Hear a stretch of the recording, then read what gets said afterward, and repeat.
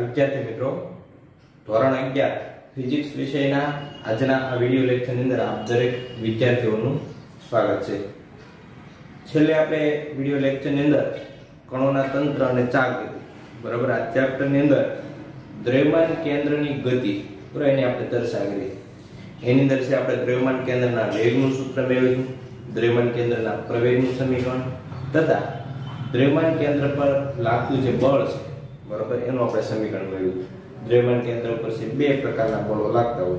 બરાબર? એક તો આંતરિક બળ અને બાહ્ય બળ. પણ આંતરિક બળો જે અંદરો અંદર જે કણોની અંદર આંતરિક બળો લાગતા હોય છે, એનો સરવાળો છે એ કેવો થતો હોય છે? શૂન્ય. એટલે આપણે ફક્ત ક્યુ બળ છે દ્રવ્યમાન કેન્દ્રની ગતિ માટે જવાબદાર ગણીએ છીએ? તો બાહ્ય બળ છે. બરાબર? તો દરેક સમીકરણો છે આપણે છેલ્લા વીડિયો લેક્ચરની અંદર આપણે જોયા છે. આજે આપણે જે ટોપિક જોવાનો છે બરાબર? એ છે દ્રવ્યમાન કેન્દ્રનું વેગમાન. એના આધારે આપણે વેગમાન સંરક્ષણનો નિયમ પણ જોવાનો છે. બરાબર? વેગ જોયો, પ્રવેગ જોયો, બળ જોયું, હવે વેગમાન. તો વેગમાન કોને કહેવાય? બધી માહિતી આપણી પાસે છે જ. બરાબર? વેગમાન એટલે દળ અને વેગનો ગુણાકાર, જેને આપણે વેગમાન કહીએ છીએ.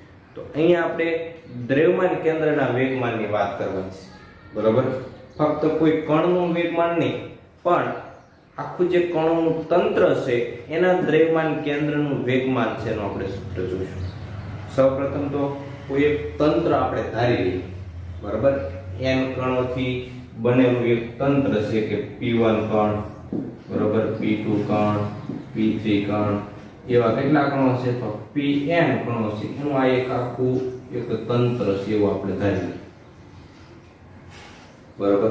જેમના સ્થાન સદિશો અનુક્રમે r1 r2 r3 up to rn છે. બરાબર? જેનું અહીં દર્શાવતો નથી, આપણે જરૂર નથી. પણ ટૂંકમાં એના સ્થાન સદિશો છે. હવે ધારો કે આખું તંત્ર છે, એમ ગતિમાં છે. બરોબર? એની અંદર જે જુદા જુદા કણો છે, એના વેગ, ધારો કે p1 કણ છે, એનો વેગ ધારો કે v1 છે. બરાબર? P1 કણનો વેગ ધારો કે કેટલો છે? v1 છે. એવી જ રીતે p2 કણનો વેગ ધારો કે v2 છે. બરાબર? એમ n નો કણ ધારો કે આ pn છે તો અપ ટુ pn કણનો વેગ છે કેટલો છે? vn છે. બરાબર? આપણે જુદા જુદા કણોના વેગો લખ્યા. કે ભાઈ પહેલો કણ છે એ v1 જેટલા વેગથી ગતિ કરે છે, બીજો કણ છે એ v2 જેટલા વેગથી ગતિ કરે છે. બરાબર? ત્રીજો કણ છે એ v3 જેટલા વેગથી ગતિ કરે છે. એમ એનમાં પણ કોઈ એક છે, તો એ વીએન જેટલા વ્યક્તિ ગતિ કરે છે. બરાબર? જેમના દળો અનુક્રમે ધારો કે આ પહેલો કણ છે, પી વન, એનું દળ છે m1 છે. બીજો કણ છે, પી ટુ, એનું દળ છે, એમ ટુ છે. બરાબર? ત્રીજો કણ p3 છે, એનું દળ એમ થ્રી છે. એમ એનમાં કોણ છે, એનું દળ છે, ધારો કે એમ એન છે. બરાબર? તો આપણે દરેક કણોના વેગ અને દળ જાણતા હોય તો દરેક કણોના વેગમાન પણ આપણે મળી જાય. બરાબર? અને આખા કણોના તંત્રનું કુલ વેગમાન કેટલું થતું હોય? તો બધા કણોના વેગમાનનો સરવાળો કરવામાં આવે. બરાબર? એટલું વેગમાન છે આખા કણોના તંત્રનું છે બરાબર? સૌપ્રથમ તો દ્રવ્યમાન કેન્દ્ર ધારો કે દ્રવ્યમાન કેન્દ્રનું વેગમાન આપણે ધારી લઈએ. P બરાબર mv આ દ્રવ્યમાન કેન્દ્રનું વેગમાન લખ્યું બરાબર છે દ્રવ્યમાન કેન્દ્રનું વેગમાન એને આપણે કેપિટલ વડે દર્શાવીશું બરાબર જ્યારે પણ દ્રવ્યમાન કેન્દ્ર માટે આપણે કોઈ પણ સંજ્ઞા લેવા થાય તો એ કેપિટલ દર્શાવીશું દ્રવ્યમાન કેન્દ્રનું વેગમાન જેને આપણે કેપિટલ પી કહીએ, તો પી બરાબર એમ એટલે આખા કણોના તંત્રનું કુલ દળ. બરાબર? અને v એટલે કે દ્રવ્યમાન કેન્દ્રનો વેગ. બરાબર? તો p બરાબર mv. આ દ્રવ્યમાન કેન્દ્રના વેગમાનનું સમીકરણ છે. આ જુદા જુદા કણોના વેગમાન આપણે લખવાય તો વેગમાનનું આપણી પાસે સૂત્ર છે. બરાબર? હવે કણોના વેગમાનની વાત કરું છું. કે દાખલા તરીકે કોઈ પણ કણનું વેગમાન લેવું હોય તો p બરાબર શું આવશે? Mv. આ સ્મોલમાં આવશે? બરાબર? કણોના વેગમાન. ધારો કે મારે પહેલા કણ માટે વેગમાન લખવું હોય બરાબર? તો p1 બરાબર. આના ઉપરથી. પહેલા કણ માટે p1 બરાબર શું આવે? M1 v1 બીજા કણનું મારે વેગમાન લખવું હોય તો p2 બરાબર શું આવશે? M2 v2 આપણે સદિશ સમીકરણ લખવું તો ઉપર સદિશની નિશાની કરશું આપણે. ખાસ દળ ઉપર સદિશ નિશાની પાસે નહીં આવે. બરાબર? એ રીતે n માં કણ માટે મારે લખવું હોય p3 સોરી pn n. માં કણનું વેગમાન જ્યારે આપણે pn વડે દર્શાવીએ તો pn બરાબર શું આવે? તો n માં કણનું દળ એટલે કે mn અને n માં કણનો વેગ એટલે કે vn. આમ જુદા જુદા કોણોને આપણે વેગમાન છે લખી શકીએ. બીજું, f sorry dp by dt. dp by dt. બરાબર? આ બધું તમે વિકલન કરો. તો dp બાય dt. બરાબર શું થાય? તો m dv બાય dt. બરાબર? Dp બાય dt બરાબર શું થાય? M dv બાય dt એ તમારા દાખલા તરીકે આ દ્રવ્યમાન કેન્દ્ર માટે લખવું હોય. બરાબર? દ્રવ્યમાન કેન્દ્ર છે, એની માટે મારે એનું વિકલન કરવું હોય, સમયની સાપેક્ષે.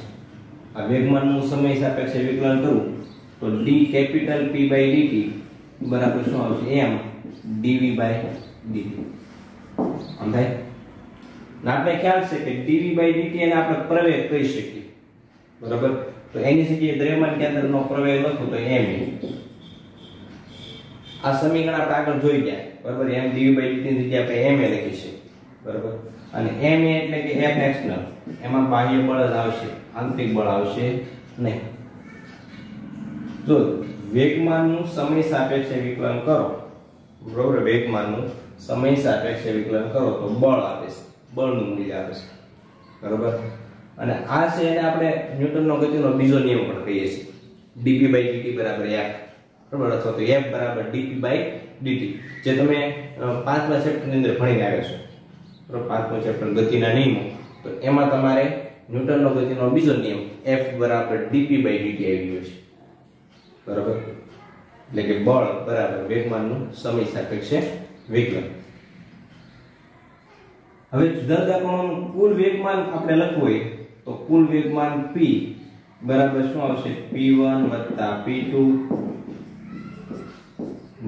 p3 ક્યાં સુધી આવશે? Pn તો બધા કણોના અણોના વેગમાનનો સરવાળો કરો, તો તમને આખા કણોના તંત્રનું કુલ વેગમાન મળશે. બરાબર? અથવા તમે આ પણ લખી શકો m1 v1 m2 v2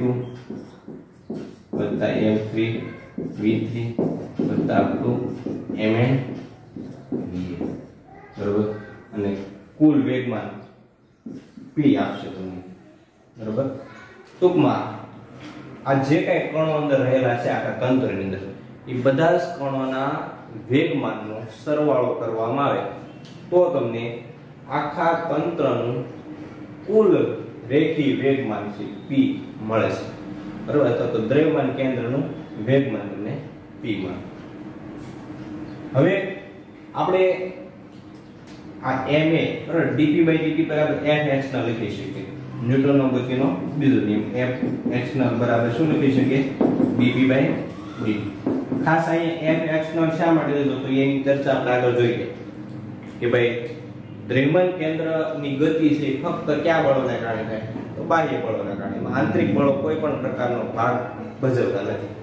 ખ્યાલ આવે એટલે આપણે f x ના લઈએ બાકી પાંચમા ચેપ્ટરમાં તમે ન્યૂટનનો ગતિનો બીજો નિયમ બની જાય, તો એમાં એફ બરાબર ડીપી બાય ડીટી હોય પણ અહીંયા એક્સનલ આપણે એટલા માટે લીધું કે આમાં આંતરિક બળ છે આપણે ગણતરીમાં લેવાનું નથી, ફક્ત કયું બળ આવશે.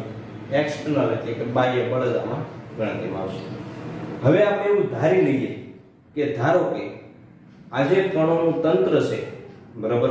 એની ઉપર લાગતું બાહ્ય બળ છે એ શૂન્ય છે. ટૂંકમાં જેટલા અન્ય બળો લાગે છે બાહ્ય બળો, એ બધાનો સદિશ સરવાળો શૂન્ય થાય છે. આની ઉપર જે કાંઈ બળો લાગે છે, આખા તંત્ર ઉપર, બાહ્ય બળો, એનો સરવાળો કેવો થાય છે? શૂન્ય થાય છે. એટલે કે એફ એક્સટર્નલ બરાબર શૂન્ય આપણે ઉધારી લઈએ એફ એક્સટર્નલ બરાબર કેવો ધારી લઈએ શૂન્ય છે, ઉધારી આપણે જોવું છે રેખી વેગમાન સંરક્ષણનો નિયમ. બરાબર? તો રેખી વેગમાન સંરક્ષણનો નિયમ મેળવવા માટે આપણે શું લીધું? કે ધારો કે તંત્ર ઉપર જે કાંઈ બાહ્ય બળ લાગે છે બધા જ બાહ્ય બળોનો સરવાળો કેવો છે? શૂન્ય છે. તો F બરાબર fx નું બરાબર શૂન્ય હોય મતલબ શું છો? કે dp dt બરાબર તો કેવા થાય? શૂન્ય થાય. કારણ કે fx બરાબર તો dp dt છે. બરોબર? વેગમાનનો સમય સાપેક્ષે વિકલન કેવું થાય? શૂન્ય. આ આપણે ધારેલું છે. બરોબર? ચાલો કે fx બરાબર શૂન્ય. બાહ્ય બળ શૂન્ય હોય તો આ dp dt બરાબર પણ કેવા થાય? શૂન્ય. તો dp dt એનો મતલબ એવો છે કે વેગમાનનો સમય સાપેક્ષ વિકલન. એ આપણને કેવું મળ્યું? શૂન્ય. આપણે વિકલનના નિયમો જાણીએ છીએ કે કોઈ પણ ભૌતિક રાશિ છે એનું વિકલન શૂન્ય ક્યારે થાય? બરાબર? કોઈ પણ રાશિ છે એનું વિકલન શૂન્ય ક્યારે થાય? તો એનું વિકલન શૂન્ય તો જ થાય જો એ રાશિ છે એ હોય, અચળ હોય. કારણ કે અચળ રાશિનું વિકલન કેવું થાય? શૂન્ય થાય આપણે ખ્યાલ છે. તો એનો મતલબ એવો જો અહીંયા તેથી p બરાબર અચળ હોવા જોઈએ. એનું વેગમાન, બરાબર? એનું કુલ રેખી વેગમાન છે, કેવું હોવું જોઈએ? અચળ હોવું જોઈએ. કારણ કે તો જ એનું વિકલન છે, કેવું થાય? શૂન્ય થાય. તો આખા તંત્રનું કુલ રેખી વેગમાન છે, અચળ રહેશે. ખ્યાલ આવે છે? ક્યારે અચળ રહે? એની પર લાગતું બાહ્ય બળ શૂન્ય હોય તો. તો રેખી વેગમાનનો સંરક્ષણનો નિયમ આના આધારે તમે લખી શકો. બરાબર? કણોના તંત્ર માટેનો રેખી વેગમાન સંરક્ષણનો નિયમ શું કહે છે? તો જ્યારે કણોના તંત્ર પર લાગતું પરિણામી બાહ્ય બળ શૂન્ય હોય, ત્યારે તંત્રનું કુલ રેખીય વેગમાન અચળ રહેશે. એટલે કે પી બરાબર અચળ રહેશે.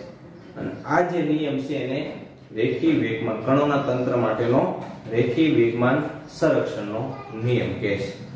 બરાબર? વેગમાન સંરક્ષણનો નિયમ તો તમે પાંચમા ચેપ્ટરમાં ભણીને તૈયાર છો. તો એ પણ કંઈક એવું જ કહેવા માંગે છે. બરાબર? નિયમ છે આપણે લખી નાખીએ કે ભાઈ વેગમાન સંરક્ષણનો નિયમ શું છે?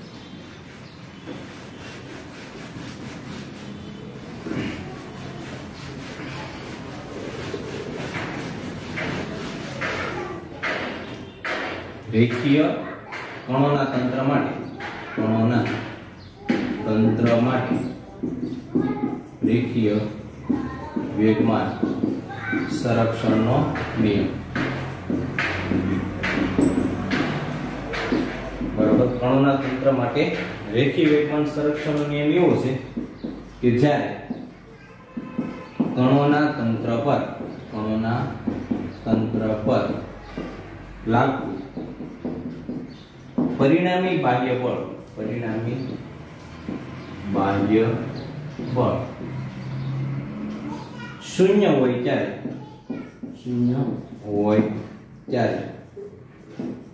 તંત્રનું કુલ રેખીય વેગમાં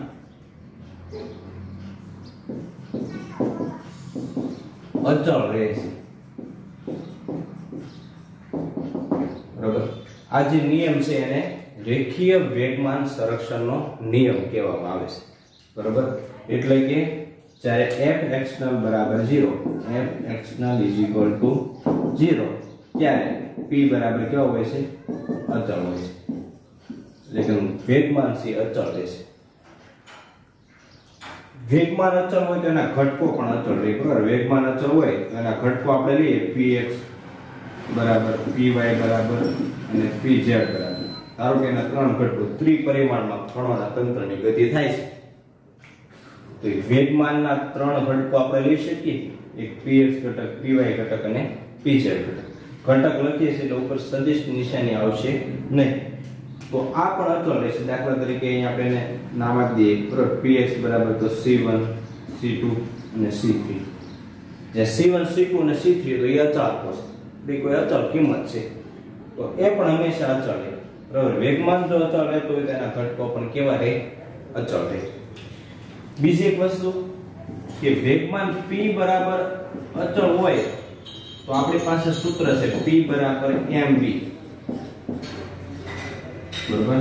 દ્રવ્યમાન કેન્દ્રનું વેગમાન બરાબર દ્રવ્યમાન કેન્દ્રનું દળ અને એના દ્રવ્યમાન કેન્દ્રના વેગ, એના ગુણનફળને આપણે દ્રવ્યમાન કેન્દ્રનું વેગમાન કહીએ છીએ દ્રવ્યમાન કેન્દ્રનું વેગમાન એટલે શું?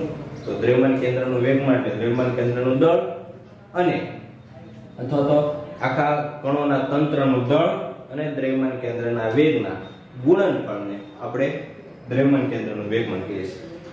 હવે તો વેગમાન જ અચળ હોય દ્રવ્યમાન કેન્દ્રનું, બરાબર? તો એનો મતલબ જો p બરાબર mv બરાબર પણ અચળ થાય. P બરાબર mv બરાબર અચળ. હવે દળ તો આપણે ખ્યાલ છે અચળ જ છે. બરોબર? તો એનો મતલબ એ છે કે વેગ પણ કેવો હોવો જોઈએ? અચળ હોવો જોઈએ. કારણ કે p અચળ હોય તો v પણ કેવા હોય? અચળ. કારણ કે તો જ આપણે સામ સરખા લખી શકીએ. એટલે જો વેગમાં અચળ હોય, તો વેગ પણ કેવો હોય? અચળ હોય. બરોબર? આખા કોઈ કણોનું એક તંત્ર હોય અને એની ઉપર લાગતું પરિણામી બાહ્ય બળ શૂન્ય હોય, તો એ કણોના તંત્રનું વેગમાન અચળ રહે અને એનો વેગ પણ અચળ હોય. ભલે પછી કણોની જે તંત્ર છે, એના જે જુદા જુદા કણો છે, બરોબર, એની અંદર આવેલા જુદા જુદા કણો છે, એ અલગ અલગ જુદા જુદા વેગથી ગતિ કરતા હોય છે. એ બધાના વેગો જુદા જુદા હોય છે. પણ એ જે કણોનું એક કોઈ જે દ્રવ્યમાન કેન્દ્ર છે, એ તો અચળ વેગથી સીધી રેખામાં જ ગતિ કરતું હોય છે. અરે એ પોતાનો ગતિમાર્ગ છે બદલ છે. તમને ચોપડીની અંદર ઉદાહરણ પણ આપેલું છે. બરાબર રેડિયો એક્ટિવ ક્ષયનું ઉદાહરણ આપ્યું છે. કે ભાઈ રેડિયમ છે, બરાબર, રેડિયમ એક રેડિયો એક્ટિવ તત્વ છે, તમને ખ્યાલ છે. બરાબર, તમે રેડિયમ જોયું પણ હશે. તો એ રેડિયમનો રેડિયો એક્ટિવ ક્ષય થાય છે અને એમાંથી બે જુદા જુદા ન્યુક્લિયસમાં રૂપાંતર પામે છે. બરાબર, રેડિયમનું ક્ષય થાય અને એમાંથી રેડોન અને હિલિયમ, એટલે કે આલ્ફા, એ બે ન્યુક્લિયસો બને છે. તો જ્યારે એ રેડિયમમાંથી આ બે ન્યુક્લિયસો ક્ષય થઈને એ બંને ન્યુક્લિયસો બને. એ બંને ન્યુક્લિયસોના વેગ કોઈ પણ હોઈ શકે. પણ એ બંને ન્યુક્લિયસોથી બનતું જે આપણું તંત્ર છે, એનો વેગ એટલે કે દ્રવ્યમાન કેન્દ્રનો વેગ એ હંમેશા અચળ જ રહેશે. બરાબર? તમને આકૃતિમાં પણ દર્શાવ્યું છે. અને આકૃતિની અંદર તમને બે અલગ અલગ, બરાબર? એની જે નિર્દેશ ફ્રેમો છે, એની અંદર આકૃતિ આવી છે. બરાબર? એક સ્થિર નિર્દેશ ફ્રેમમાં તમને આકૃતિ આપી છે. એક ગતિ કરતી હોય એવી નિર્દેશ ફ્રેમ છે. એની અંદર તમને એની આકૃતિ આપી છે. બરાબર? જોઈએ બંને આકૃતિઓ.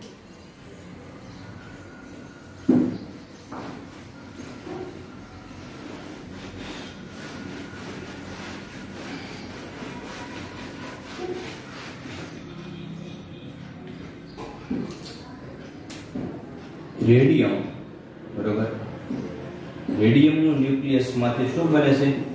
તો એક રેડોન બને છે. આરએન એટલે રેડોન વત્તા એક આલ્ફા પણ એટલે એ છે બરાબર? આનો ક્ષય આ રેડિયમનો શું થાય છે? ક્ષય થાય છે. બરાબર? આ રેડિયો ક્ષય વિશે આપણે છે બારમા 12મા ધોરણની અંદર ભણવાનું આવશે. ન્યુક્લિયસ નામનું ચેપ્ટર છે. તો એમાં વિખંડન પ્રક્રિયા, બરાબર? ન્યુક્લિયર વિખંડન, ન્યુક્લિયર સંલયન પ્રક્રિયા. તો એમાં આપણે આ ક્ષય વિશે ભણવાનું આવશે. ત્રણ પ્રકારના ક્ષય આવે. પણ આ જે વિસ્તૃત માહિતી છે એની હાલ પૂરતી આપણે કોઈ જરૂર નથી. તો આપણે હાલ ખાલી એક ઉદાહરણ સમજવા પૂરતું છે કે ભાઈ રેડિયમ હોય એનો ક્ષય થાય અને એમાંથી બે ન્યુક્લિયસ એક રેડોન બને અને એક હિલિયમ બને. બરાબર? રેડિયમ, આ છે રેડિયમ. બરાબર? એમાંથી રેડોન અને આલ્ફા કણ અથવા તો એને હિલિયમ તમે કહો છો. બરાબર? તો આલ્ફા કણ આપણે કહી શકીએ. એવા બે ન્યુક્લિયસો બને. ક્ષય થવું એટલે શું? એટલે ક્ષય એટલે બીજું કાંઈ નહીં ખવાણ બરાબર? આપણે ખ્યાલ છે કે પેલા પથ્થર હોય તો પથ્થર કેમ ખવાતા જાય છે એમાંથી પછી જુદા જુદા નાના નાના કણોમાં રૂપાંતરિત પામે. કોઈ મોટો પથ્થર હોય ને દિવસે દિવસે સમય પસાર થાય. એમ, એ પથ્થર ખવાતો જાય કેમ? જુદા જુદા કણોમાં રૂપાંતર રૂપાંતરિત થતું જાય પથ્થરનું. એમ, આ ક્ષય એટલે બીજું કાંઈ નહીં, પણ એક રેડિયોએક્ટિવ ન્યુક્લિયસ છે ધીમે ધીમે એનું એમાંથી વિકિરણ છે ઉત્સર્જિત થતું જાય. બરાબર? અને એ અલગ અલગ ન્યુક્લિયસો છે એમાં રૂપાંતર પામે છે. તો આ રેડિયમનું રૂપાંતર રેડોન અને આલ્ફા કણ તો હવે આની અંદર સૌપ્રથમ રેડોનનું ન્યુક્લિયસ છે. બરાબર? એ જ્યારે બે જુદા જુદા ન્યુક્લિયસમાં રૂપાંતર પામે, ત્યારે એનું દ્રવ્યમાન કેન્દ્ર આ દિશામાં ગતિ કરતું હતું. બરાબર? દ્રવ્યમાન કેન્દ્ર છે એનો વેગ. આ ચોક્કસ દિશામાં હતો. તો જ્યારે એનું રૂપાંતર બે અલગ અલગ કણોમાં થાય છે. બરાબર? તો ત્યારે આ રેડોન અને આ આલ્ફા કણ બરોબર? એનો ગતિમાર્ગ ગમે તેવો જટિલ હોઈ શકે. એના વેગો કોઈ પણ દિશામાં હોઈ શકે. પણ આ દ્રવ્યમાન કેન્દ્રનો વેગ છે અચળ સીધી રેખામાં અચળ વેગથી જ ગતિ કરતો હોય દ્રવ્યમાન કેન્દ્ર પોતાનો વેગ છે, એ બદલશે નહીં બરાબર? વેગમાન સંરક્ષણના નિયમના આધારે અને આની અંદર આનો જે ક્ષય થાય છે, એટલે કે રેડિયો એક્ટિવિટીની જે ઘટના છે રેડિયો એક્ટિવિટીની જે ઘટના છે એ આંતરિક બળોના કારણે થાય છે. કિરણોત્સર્ગી ક્ષય, જેને કિરણોત્સર્ગી છે બરાબર? એની માટે કોણ જવાબદાર છે? તો આંતરિક બળો. એમાં કોઈ બાહ્ય બળ જવાબદાર નથી. બરાબર? એ આંતરિક બળોના કારણે ક્ષય થાય છે. અને બે અલગ અલગ ન્યુક્લિયસમાં રૂપાંતરિત થાય છે. તો આજે આંતરિક બળ તો આપણે ગણતરીમાં લેતા નથી. બરાબર? એનો સરવાળો શૂન્ય થાય. એટલે બાહ્ય બળ છે એને અવગણી શકાય એના માટે આંતરિક બળોની સરખામણીમાં બાહ્ય બળને આપણે અવગણી શકીએ. એટલે લગભગ આપણે શૂન્ય લઈ શકીએ. અને બાહ્ય બળ શૂન્ય હોય તો વેગમાન અચળ હોય, p અચળ હોય, તો એનો વેગ v પણ કેવો થાય? અચળ હોય. એટલે સીધી રેખામાં જે દિશામાં ગતિ કરતો હતો જ્યારે ક્ષય નહોતો થયો એ પહેલા જે દિશામાં એનો વેગ હતો, એ જ દિશામાં એનો વેગ v કેવો રહે છે? અચળ રહે છે. દ્રવ્યમાન કેન્દ્રનો વેગ ભલે આ કણો છે અલગ અલગ દિશામાં જુદા જુદા વેગોથી ગતિ કરતા હોઈ શકે પણ દ્રવ્યમાન કેન્દ્ર તો જે દિશામાં ગતિ કરતો એ જ દિશામાં એની ગતિ ચાલુ રાખશે. અચળ વેગથી બરાબર? બીજી આકૃતિ બાજુમાં તમને આપી છે. તો એ સ્થિર નિર્દેશ ફ્રેમ દાખલા તરીકે અહીંયા આપણે એના વેગને આ જુદા જુદા કણો જે ગતિ કરે છે, એને આપણે એક્સ વાય સમતલમાં લઈએ. તો ઝેડ અક્ષની દિશામાં તો એ બે કણો સ્થિર છે, એમ જ આપણે તેને લઈ શકીએ. બરાબર? તો એવી સ્થિર નિર્દેશ ફ્રેમમાં તમે જો આનું અવલોકન કરો તો વધારે સરળતાથી આપણે એને સમજી શકીએ. સ્થિર નિર્દેશ તમે એનું અવલોકન કરશો. તો આ દ્રવ્યમાન કેન્દ્ર એટલે કે રેડિયમ. આ રેડોન અને આલ્ફા બરોબર? સ્થિર નિર્દેશ તમે અવલોકન કરશો તો આ દ્રવ્યમાન કેન્દ્ર આપણે સ્થિર દેખાશે. બરાબર? દ્રવ્યમાન કેન્દ્ર આપણે કેવું દેખાશે? સ્થિર. સ્થિર એટલે વેગ 0 બરાબર? વેગ 0 એ પણ એક અચળ છે એમ કહી શકાય. વેગ 0 નો મતલબ શું છે? વેગ અચળ. બરાબર? અને ત્યારે આ બંને જે આલ્ફા કણ અને રેડોનના ન્યુક્લિયસ છે, એ પરસ્પર વિરુદ્ધ દિશામાં, પ્રતિ સમય, બરાબર? પરસ્પર વિરુદ્ધ દિશામાં ગતિ કરશે. કે જેથી કરીને એનું દ્રવ્યમાન કેન્દ્ર કેવું રહે? સ્થિર રહે. બરાબર? દ્રવ્યમાન કેન્દ્ર સ્થિર રહે. એવી રીતે બંને પરસ્પર વિરુદ્ધ દિશામાં ગતિ કરશે. બરાબર? વિરુદ્ધ દિશામાં ગતિ કરે એટલે એકનો વેગ ધન લ્યો એકનો વેગ ઋણ લ્યો એટલે સરવાળો તો પરિણામી વેગ છે. આખા દ્રવ્યમાન કેન્દ્રનું ઝીરો થાય. તો દ્રવ્યમાન કેન્દ્ર કેવું કહી શકાય? સ્થિર છે એમ કહી શકાય. બરાબર? તો આ રીતે રેખી વેગમાન સંરક્ષણનો નિયમ. બીજું એક પણ તમને ઉદાહરણ આપ્યું છે. રેખી વેગમાન સંરક્ષણનો નિયમ સમજાવવા માટે એક બીજું દ્વિસંગી તારાઓનું ઉદાહરણ? યુગ્મ તારાઓનું એક ઉદાહરણ આપ્યું છે. કોઈ બે તારાઓ હોય, બરોબર? આકાશ ગંગાની અંદર કોઈ જે તારાઓ રહેલા છે. એમાંથી કોઈ બે તારાઓની ગતિ છે તમને એને દર્શાવી છે. બે તારાઓ છે વર્તુળાકાર માર્ગે ગતિ કરે છે. બરાબર? તો એ એવી રીતે ગતિ કરશે કે જેથી કરીને બંને તારાઓથી બનતું તંત્ર એનો વેગ સીધી રેખામાં અચળ બંને તારાઓની ગતિ તમે જોશો તો એ જટિલ આપને લાગશે. પણ દ્રવ્યમાન કેન્દ્રની ગતિ તમે જોશો તો એ અચળ વેગથી ગતિ સીધી રેખામાં ગતિ છે આપણે આપણે જોવા મળશે. બરાબર? દ્રવ્યમાન કેન્દ્ર જાણે કે સીધી રેખામાં ગતિ કરતું અચળ વેગથી એવું જોવા મળશે. તો એ પણ તમને આકૃતિમાં છે દર્શાવેલું છે.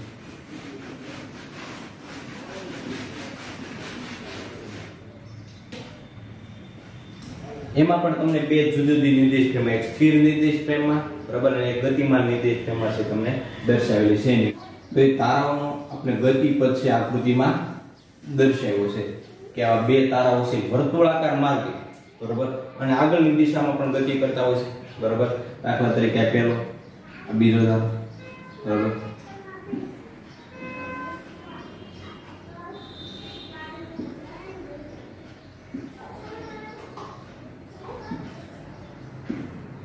તો એક રીતે જોઈએ તો ગતિમાન આપણને જટિલ દેખાય છે, પણ એના દ્રવ્યમાન કેન્દ્રનો આપણે વેગ જોઈએ. બરાબર? તો એ સીધી રેખામાં છે. વર્તુળાકાર આ જે માર્ગ છે એનું કેન્દ્ર. બરાબર? જેને આપણે દ્રવ્યમાન કેન્દ્ર તો સીધી રેખામાં જ ગતિ કરતો હશે એનું કેન્દ્ર. ભલે બંને તારાઓ છે બરાબર પરસ્પર વિરુદ્ધ દિશામાં છે, એના વેગો અલગ અલગ દાખલા તરીકે અહીંયા વેગ મેળવતા અહીંયા સ્પર્શકની દિશામાં, અહીંયા સ્પર્શક એટલે આ દિશામાં, અહીંયા તારાનો વેગ આ દિશામાં, બરાબર? એકને P1 કહી દઈએ, એકને આપણે P2 કહી દઈએ, બરાબર? તો બંનેના વેગની દિશાઓ અલગ અલગ છે. પણ દ્રવ્યમાન કેન્દ્ર છે એ સમાન વેગ છે, અચળ વેગથી સીધી રેખામાં ગતિ કરતું હોય છે, બરાબર? અને આ જે એની ગતિ છે, એ વર્તુળાકાર ગતિ અને સીધી રેખામાં ગતિ, બંને ગતિની મિશ્ર ગતિથી. બરાબર તારાઓ છે, ગતિ કરતા હોય છે. આવો સ્પાયરલ આકારનો ગતિમાર્ગ છે આપણને જોવા મળે છે. પણ એનું દ્રવ્યમાન કેન્દ્ર તો સીધી રેખામાં બંને જે તારાઓ છે એના ગતિમાર્ગ, વર્તુળાકાર ગતિમાર્ગના કેન્દ્ર, બરોબર, એમાંથી પસાર થતી સીધી રેખામાં તે અચળ વેગથી ગતિ કરતા હોય છે. સ્થિર નિર્દેશ ટાઈમમાં તમે એનું અવલોકન કરો તો વધારે સરળતાથી આપણે સમજી શકીએ કે સ્થિર નિર્દેશમાં આપણે એક બાજુથી જોઈએ, બરોબર, તારાના, એના ગતિમાર્ગ. તો આપણે એનું દ્રેમન કેન્દ્ર છે સ્થિર દેખાય છે અને બંને તારાઓ છે પરસ્પર વિરુદ્ધ દિશામાં એનો ગતિમાર્ગ છે છે. બરોબર? દાખલા તરીકે પહેલો તારો પી પી તો બંને છે પરસ્પર વિરુદ્ધ દિશામાં બરોબર ગતિ કરતા છે અને એનું દ્રેમન કેન્દ્ર છે સ્થિર રહે. એવી રીતે એનો ગતિમાર્ગ એવો છે કે જેથી કરીને એનું દ્રવ્યમાન કેન્દ્ર સ્થિર રહે. આખું જે વર્તુળાકાર માર્ગ છે એના વ્યાસાંત બિંદુઓ ઉપર બંને તારાઓ છે આવેલા છે. બરોબર? કે જેથી કરીને દ્રવ્યમાન કેન્દ્ર સ્થિર એવું નહીં બને કે બંને તારાઓ છે એક જ જગ્યાએ છે, અથવા તો એકબીજાની નજીક નજીક પણ વ્યાસાંત બિંદુ આવેલા છે, જેથી કરીને એમના વેગ છે પરસ્પર વિરુદ્ધ દિશામાં બને. જેમાં હમણાં આપણે અલ્ફા કણ અને રેડોર પ્રેરણા ન્યુક્લિયસ જે આપણે જોઈએ કે બે વિરુદ્ધ દિશામાં ગતિ કરતા હતા. એમ અહીંયા પણ બંને તારાઓ છે, એના વેગ પરસ્પર વિરુદ્ધ દિશામાં છે, કે જેથી કરીને આપણે એનું દ્રવ્યમાન કેન્દ્ર કેવું મળે? સ્થિર. જો બંને એક દિશામાં આવે, બરોબર? બંનેના વેગ તો દ્રવ્યમાન કેન્દ્ર સ્થિર રહી શકે નહીં આપણે સ્થિર નિર્દેશ પ્રેમમાં જોઈએ છે. દ્રવ્યમાન કેન્દ્ર કેવું હોવું જોઈએ? સ્થિર હોવું જોઈએ. સ્થિર તો જ હોઈ શકે. જો એમના વેગ છે પરસ્પર કેવા હોય? વિરુદ્ધ દિશામાં હોય. તો આ ઉદાહરણ દ્વારા પણ આપણે સમજી શકીએ કે કણોનું જે તંત્ર, અહીંયા તંત્ર એટલે અલગ અલગ કણો એટલે કે તારાઓ. બરોબર? તારાઓથી બનતું તંત્ર છે. તો એમાં જે કણો છે, એની ગતિ કોઈ પણ પ્રકારની હોઈ શકે, એના વેગ કોઈ પણ હોઈ શકે. પણ એનું દ્રવ્યમાન કેન્દ્ર હંમેશા અચળ વેગથી ગતિ કરે છે. ટૂંકમાં બંને ઉદાહરણ દ્વારા આપણે આ સમજવાનું છે કે જ્યારે કણોના તંત્ર પર લાગતું બાહ્ય બળ શૂન્ય હોય, બરોબર? ત્યારે કણોના તંત્રનો કુલ રેખી વેગમાં અચળ રહે ને રેખી વેગમાં અચળ રહે એટલે એનો રેખી વેગ પણ કેવો રહેશે? અચળ રહેશે. બરોબર? તો આ જે આપણે જોયું, બરાબર રેખી વેગમાન સંરક્ષણનો નિયમ કણોના તંત્ર માટે આપણે લાગુ પાડી શકીએ હવે આગળ આપણે સદિશોના, સદિશ ગુણાકાર છે આપણે જોવાનું. જો કે આ આમ આપણે આગળ ચેપ્ટરમાં જોઈ ગયા છે. બરોબર ચોથા ચેપ્ટરની અંદર આપણે સદિશ ગુણાકાર ભણી ગયા, સમતલમાં ગતિ. કારણ કે એમાં આપણે સદિશ ગુણાકારનો ઉપયોગ આવ્યો. પણ ફરી વખત અહીંયા આપણે રિપીટ થાય છે. બરાબર? સદિશોના સદિશ ગુણાકાર. એટલે થોડું ઝડપ લઈશું કારણ કે આપણે સદિશ ગુણાકાર ભણી ગયા છીએ. આપણે એના નિયમો પણ ખબર છે. બરાબર? એટલે સ્પીડમાં થોડુંક લઈ હવે સદિશોના ગુણાકાર સદિશ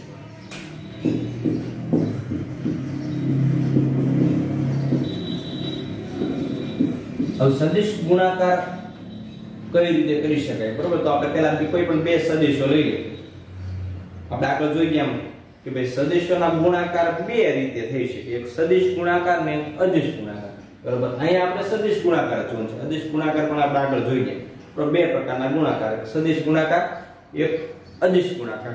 તો એમાંથી અહીંયા સદિશ ગુણાકાર આપણે જોઈએ, ધારો કે કોઈ બે સદિશો a અને b બરોબર? a અને b એનો આપણે સદિશ ગુણાકાર કરવો છે તો a ક્રોસ b બરાબર c સદિશ ધારો કે આપણે મળે છે.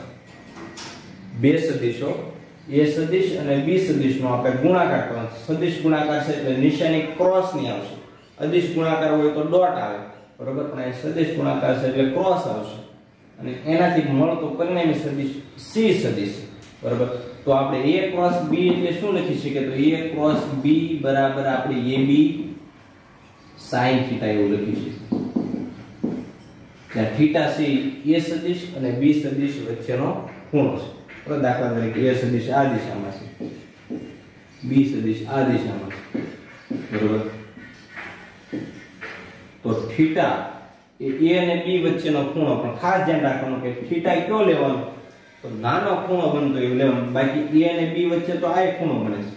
બરોબર? પણ આ ખૂણો છે એ મોટો છે. નાના નાનો જે ખૂણો હોય એ આપણે લેવાનો આ થીટા આપણે લઈશું બરોબર? બાકી a અને વચ્ચેનો ખૂણો લેવો તો તમે અહીંથી ફેરી ફેરીને આ લઈશું પણ એ ખૂણો છે એ મોટો છે. એટલે નાનો જે ખૂણો બનતો એ ખૂણો આપણે ગણતરીમાં લઈશું તો a અને b વચ્ચેનો ખૂણો થીટા હોય તો a b બરાબર શું આવશે?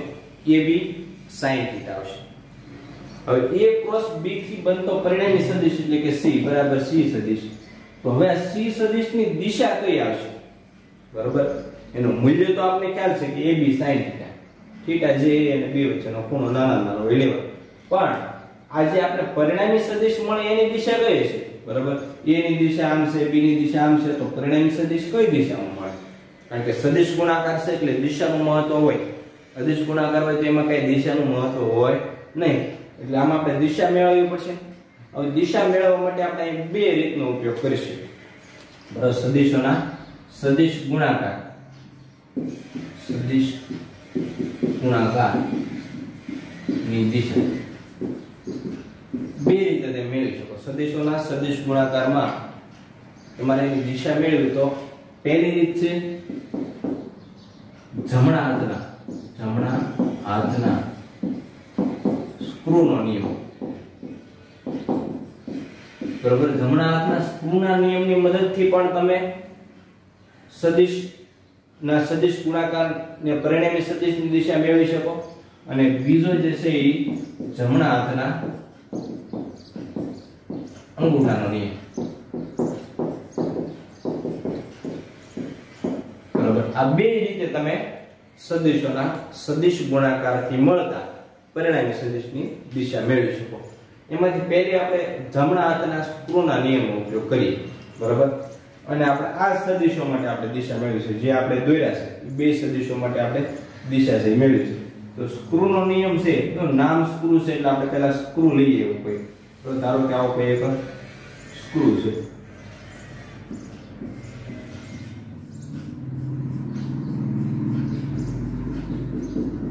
બરાબર, તમે બધાએ સ્ક્રૂ તો જોયો જ હશે. બરાબર? તો હવે આ સ્ક્રૂના નિયમની અંદર શું કરવાનું છે? તો આપણે સ્ક્રૂને ભ્રમણ આપવાનું છે સ્ક્રૂને ફેરવવાનું છે. તો તમે સ્ક્રૂ ફિટ કર્યો હશે ઘણી જગ્યાએ. બરાબર, આમાં ઘણા બધા મિકેનિકલ હશે તો સ્ક્રૂ છે એને ફિટ કરવા માટે તમારે કઈ બાજુ આટા ચડાવવા પડે એ તમને ખ્યાલ છે. તો કઈ બાજુ આટા ચડાવો તો સ્ક્રૂ છે એ ફિટ થાય છે, કઈ બાજુ આટા ચડાવો તો સ્ક્રૂ છે બહાર નીકળે. એ જો તમને ખ્યાલ હોય તો તમે આ સ્ક્રૂનો નિયમ વાપરી શકો. બરોબર? તો હવે એ થી બી તરફ સ્ક્રૂને આપણે ફેરવો બરોબર? એ થી બી એટલે આ બાજુ છે. આ દિશા એ આ બાજુ છે બી આ દિશા એ થી બી એટલે આપણે આમ. ધારો કે આ સ્ક્રૂ છે આપણે ઉધારી લઈએ બરોબર? તો આ સ્ક્રૂને મારે કઈ બાજુ ફેરવવાનું છે? એ થી આ એને અણી છે સ્ક્રૂની. બરાબર?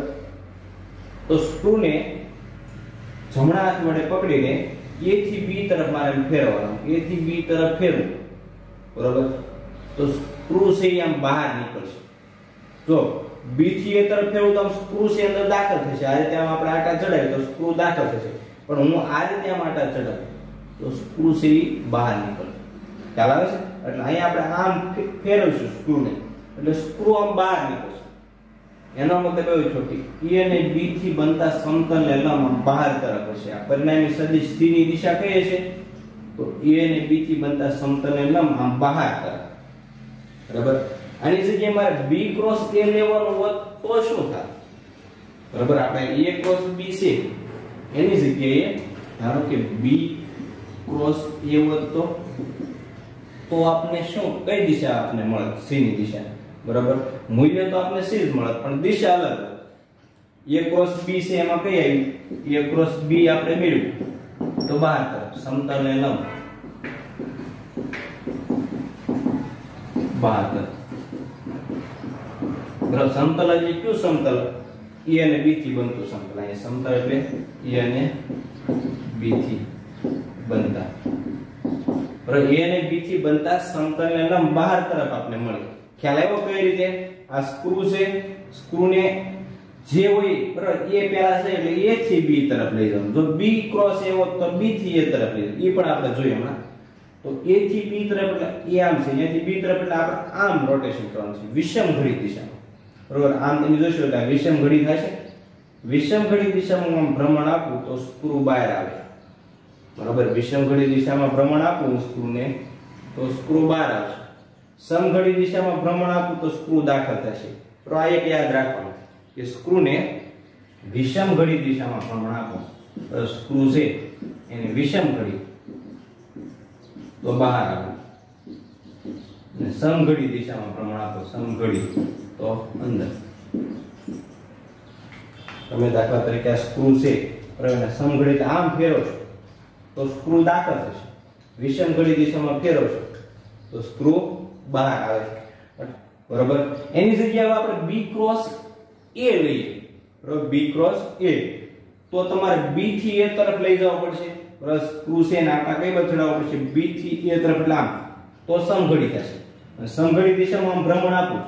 તો સ્ક્રૂ છે એ શું થાય છે? અંદર દાખલ થશે. બરોબર? દાખલા તરીકે આ રીતે આમ ભ્રમણ આપું. તો સ્ક્રૂ છે દાખલ થશે. તો તમને એની દિશા છે સમતલ ને લંબ બહાર તરફ મળશે. અહીંયા બી ક્રોસ એ લેવામાં આવે. એ ક્રોસ બી ની જગ્યાએ બી ક્રોસ એ લેવામાં આવે. તો દિશા કઈ મળશે? તો એ અને બી થી.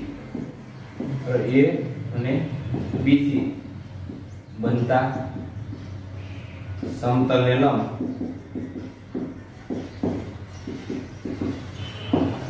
અંદર તરફ આવશે. બંને કિસ્સામાં એનો પરિણામી સદિશ છે. આ બેયના ક્રોસ ગુણાકારથી જે પરિણામી સદિશ મળે, બરાબર, એ બંને કિસ્સામાં a ક્રોસ b હોય કે b ક્રોસ a હોય, બે કિસ્સામાં સમતલને તો લંબ જ હશે. બે કિસ્સામાં સમતલને લંબ, બરાબર? આમ કે આમ કે કોઈ પણ બીજી દિશામાં નહીં આવે. પરિણામી સદિશ એ સમતલને લંબ જ હશે, પણ સમતલને લંબ તમે આમ બહાર લઈ શકો અંદર લઈ શકો, બરોબર? તો એ શેના ઉપર આધાર રાખે? a ક્રોસ b છે, તો બહાર તરફ b ક્રોસ a છે, તો અંદર તરફ બરોબર? એ તમને શેના આધાર મળે? તો આ જમણા હાથના સ્ક્રૂના નિયમનો તમે ઉપયોગ કરશો તો એના આધાર મેળવશો બરોબર? તો આ એક સીધો ને સાદો જમણા હાથના સ્ક્રૂનો નિયમ. તો જે વિદ્યાર્થીને સ્ક્રૂનો નિયમ છે વધારે ફાવતો હોય, તો સ્ક્રૂના નિયમ દ્વારા દિશા મેળવે. અને બીજો નિયમ છે જમણા હાથના અંગૂઠાનો નિયમ. આ એકદમ સરળ નિયમ છે. આમાં ક્યારેય ભૂલ પડવાની શક્યતા રહેતી નથી. બરાબર? જમણા હાથના સ્ક્રૂમાં ઘણી વખત ભૂલ પડે, ઘણી વખત ઘણાને ખ્યાલ ન હોય કે સ્ક્રૂને આમ ભ્રમણ આપીએ સમઘડી દિશામાં. તો એ દાખલ થાય છે. અને વિષમઘડી દિશામાં ભ્રમણ આપો તો સ્ક્રૂ બહાર આવે. એ જો તમને ખ્યાલ ન હોય, તો એની દિશા છે, એની અંદર ભૂલ પડી શકે. એટલે આપણે ખાસ અહીંયા જમણા હાથના અંગૂઠાનો નિયમ છે, એનો ઉપયોગ કરશું. બરાબર? તો હવે જમણા હાથના અંગૂઠાનો નિયમ જોઈએ.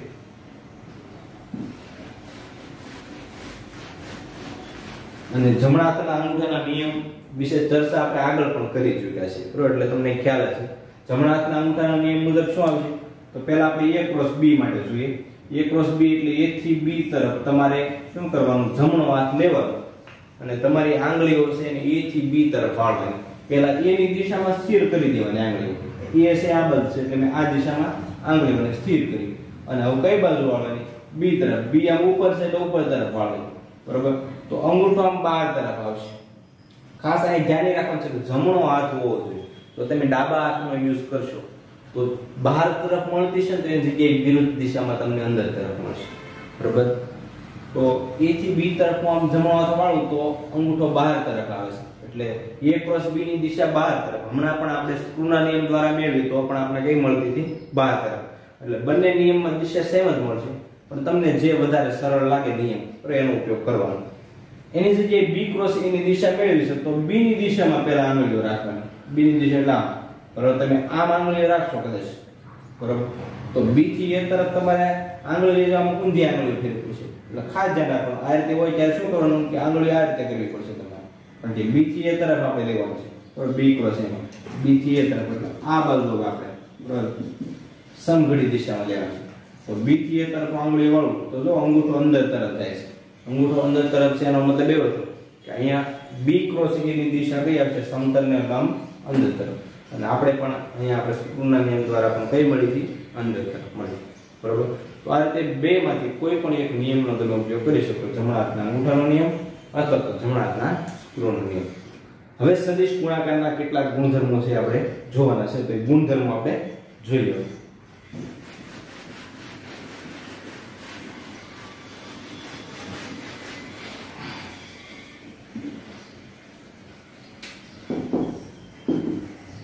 એના ગુણધર્મો એમાં પહેલો જે ગુણધર્મ છે એ ક્રમનો નિયમ. ક્રમનો નિયમ. તો સદિશ ગુણાકાર છે આપણે ખ્યાલ છે, સમક્રમી નથી. બરાબર? આ આ ગુણધર્મ આપણે જોઈ ગયા છે કે સમક્રમી થી a ક્રોસ b હોય તો is not equal to b cross a. આમ તમે લખી શકો નહીં. અદિશ ગુણાકારમાં લખી શકાય. a ડોટ b હોય તો b ડોટ a લખી શકો તમે. બરાબર? એમાં ક્રમથી બદલાઈ શકો આમાં તમે ક્રમથી બદલાવી શકો નહીં. બરાબર? તો નિયમ. અથવા તમારે a ક્રોસ b બરાબર b ક્રોસ a લખવા હોય તો શું કરવું પડે? B ક્રોસ a મારે લખવા જ ચાલો. બરાબર જ લખવાશે. a ક્રોસ b બરાબર b ક્રોસ તો આગળ એક નિશાની કઈ કરવી પડે? માઇનસ નિશાની કરી નાખો. તો તમે લખી શકો કારણ કે માઇનસ નિશાની અંદર આપશો. બરાબર? એટલે આ a અને b ની દિશા બદલાઈ જશે. બરાબર? એટલે તમને a ક્રોસ b બરાબર શું મળી શકે? B cross a. બરાબર? માઇનસ b ક્રોસ a મળશે. આ ક્રમનો નિયમ જોઈએ આપણે. ત્યારબાદ બીજો છે વિભાજનનો નિયમ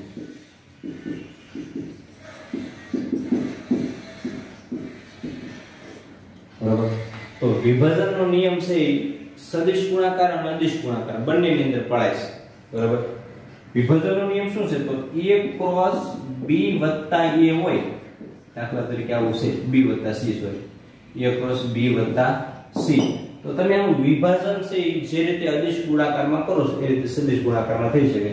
A cross b, a cross b, વચ્ચે નિશાની વત્તાની બરાબર? માઇનસ હોય તો માઇનસ પ્લસ હોય તો પ્લસ વત્તા a ક્રોસ c. આ રીતે વિભાજન છે એ થઈ શકે. બરાબર? સદિશ ગુણાકારની અંદર વિભાજનના નિયમનું શું થાય છે? પાલન થાય છે. બરોબર?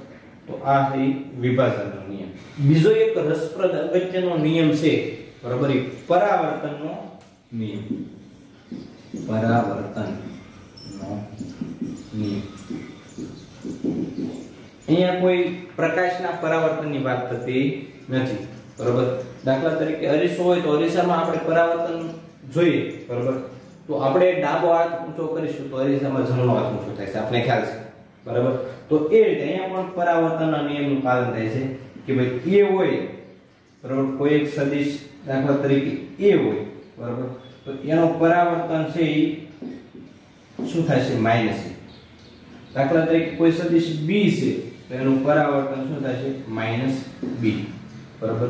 એટલે કોઈ સદિશ સી છે, તો એનું પરાવર્તન શું થાય છે? માઇનસ સી એટલે કે ટૂંકમાં આને આપણે પરાવર્તનનો નિયમ કહીશું. બરાબર કે એનું પ્રતિબિંબ છે આપણે કેવું મળશે વિરુદ્ધ સંજ્ઞા વાળું મળશે એ સંજ્ઞા છે એ બદલાઈ ગયેલી છે બરાબર તો પરાવર્તનના નિયમ મુજબ આપણે જોઈએ તો a ક્રોસ b બરાબર આપણે લખવું હોય તો minus a cross minus b બરાબર આમ તમે કરશો તો તમે આ રીતે પરાવર્તનના નિયમ મુજબ a ક્રોસ b હોય તો તમે એને minus a cross minus b લખી શકો કારણ કે a નું પરાવર્તન માઇનસ a, b નું પરાવર્તન માઇનસ b બરાબર? પરાવર્તનના નિયમ મુજબ બે સદિશો છે એના ગુણાકાર કરવામાં આવે. બરાબર? તો a ક્રોસ b બરાબર તમે શું લખી શકો? Minus a cross minus b. બરાબર? તો આ છે ઈ પરાવર્તનનો નિયમ. ત્યારબાદ, ચોથું, શૂન્ય સદિશ. શૂન્ય સદિશ. બરાબર? તો જ્યારે બે- બે સમાન સદિશો છે એનો સદિશ ગુણાકાર કરવામાં આવે. દાખલા તરીકે એક ક્રોસ એ આ બે એકના એક જ સદિશો છે.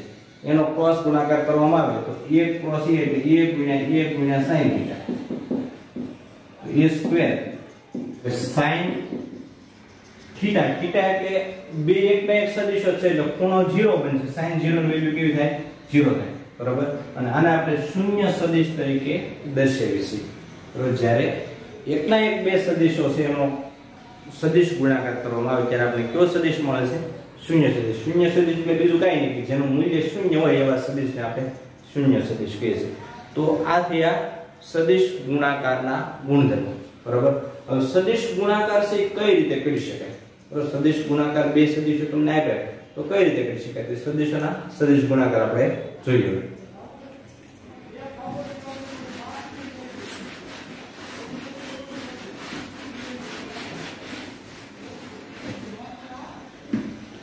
ધારો કે બે સદિશો આપણી પાસે છે a સદિશ બરાબર ax વત્તા ay z az a બીજો એક સદિશ છે આપણી પાસે b b સદિશ બરાબર bx વત્તા by z bz a આ બે સદિશોના મારે સદિશ ગુણાકાર કરવા છે.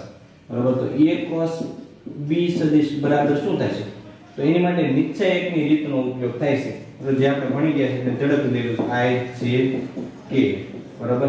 નિશ્ચયકની અંદર પેલા આઈ જે કે એટલે કે નાખવાના પછી એના ઘટકો તો A X, A Y, A Z.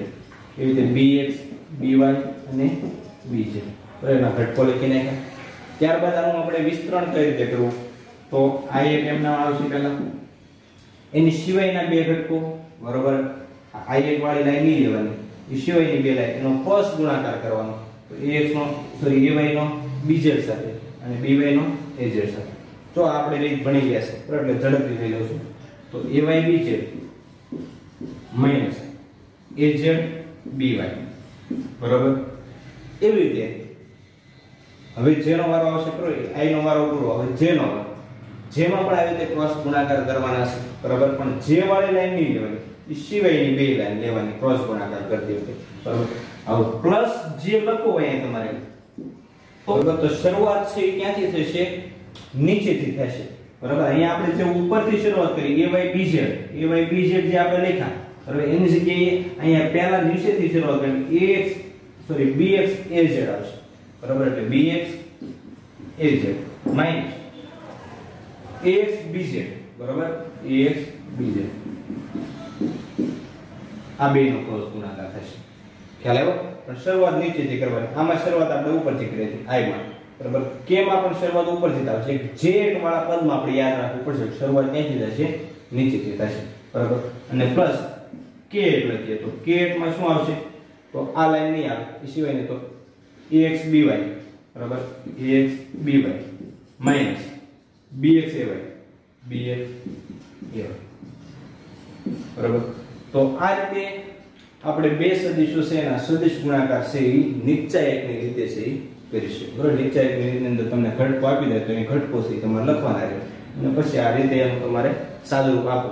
તો તમને બે સદિશોનો સદિશ ગુણાકાર છે એ મળી બરાબર? તો આ આપણે વાત કરી સદિશ ગુણાકાર. બરાબર? કઈ રીતે સદિશ ગુણાકાર થઈ શકે? એ પહેલા આપણે એના ગુણધર્મો જોઈએ. બરોબર?